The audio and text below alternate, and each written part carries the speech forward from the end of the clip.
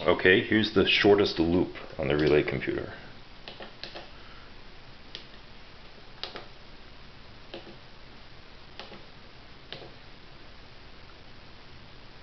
Using zero as a counter and then jump to itself.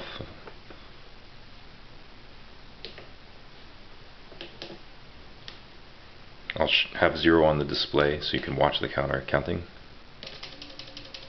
There it goes. One, one count per clock. Uh, and we can increase the fre frequency